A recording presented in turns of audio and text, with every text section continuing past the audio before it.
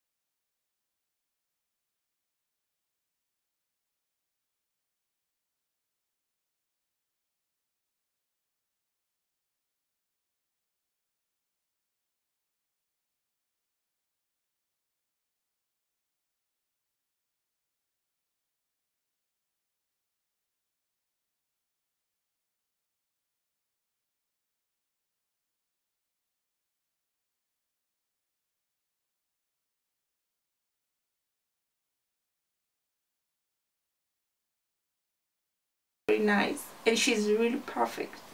It's no pain at all. You're so fantastic Freedom I like it. It's my first time to have uh, this kind of color in my in my whole life so I like it. Be blessed freedom